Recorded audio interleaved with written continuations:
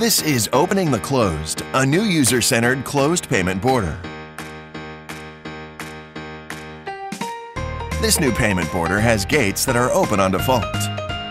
There's overhead signage above to give feed forward to users from a distance, so they know which gates can be used and from which transport operator they are.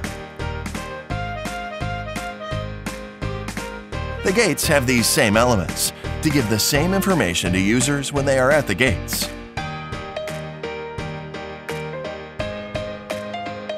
The operators of the gates can be identified by the colors of the lights. The top and front of the gates are angled, guiding the users into the correct passage. The gates can be used when the light boxes are on, green arrows are shown, and the light underneath the gate is on.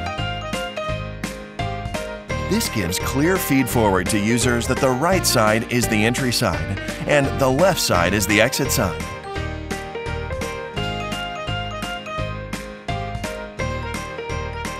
When walking up to the gate, users will find an interface with a validator, guiding light, and display.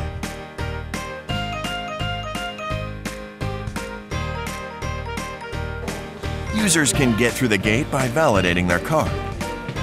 The light of the validator is on, so the user can validate a card. The light blinks, so the user knows the card is being read. The validation has been successful. The display gives information, there is sound feedback, and the guiding light brings the attention of the user to the screen.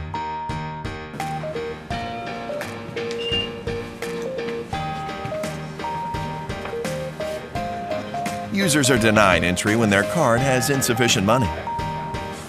The gate gives feedback on what happened. The lights turn yellow, the screen shows an error message, and the doors close.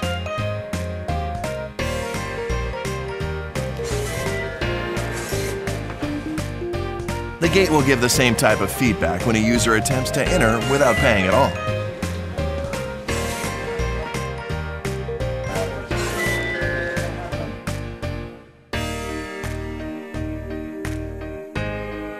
This new user-centered design guides users faster through the gates and provides an improved user experience.